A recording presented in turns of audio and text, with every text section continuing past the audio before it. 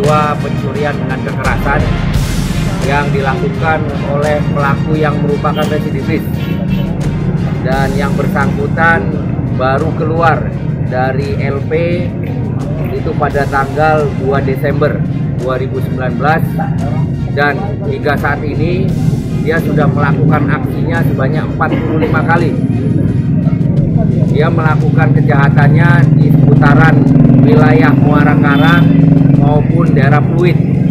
Unit Reskrim Polsek Penjaringan melakukan observasi ada warga yang berteriak menjadi korban penjamretan oleh para pelaku yang merupakan pelaku atau penjamret atas nama SA berhasil ditangkap. Kemudian satu orang yang sebagai joki atau yang mengendari motor atas nama AG saat itu melarikan diri. Kemudian dilakukan pengembangan dan pengejaran oleh petugas. Kemudian berhasil ditangkap tersangka AG. Modusnya adalah para pelaku mencari mangsa ataupun sasaran korban yang rata-rata sedang menunggu atau janjian dengan sopir ya, taksi online maupun ojek online sehingga memang posisi korban pada saat menggunakan handphonenya itu pada saat posisi yang menunggu dan cukup lemah sehingga pada saat itu memungkinkan bagi tersangka untuk merebut maupun mengambil dan membawa kabur handphone yang saat itu uh, digunakan oleh para korban.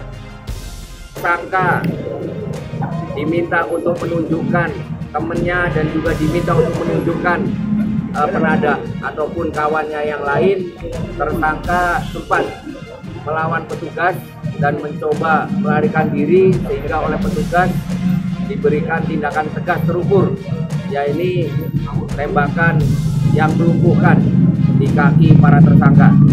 Ya, dihukum karena kejahatan yang sama. Jadi melakukan kejahatan pencurian dengan pemberatan juga.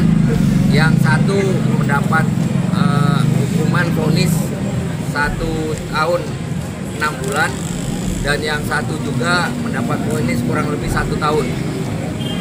Ya tentunya karena ini perbuatannya berlanjut, ya kita berharap nanti hukuman yang diterima oleh uh, para tersangka ini maksimal ya ini bisa mencapai 12 tahun penjara.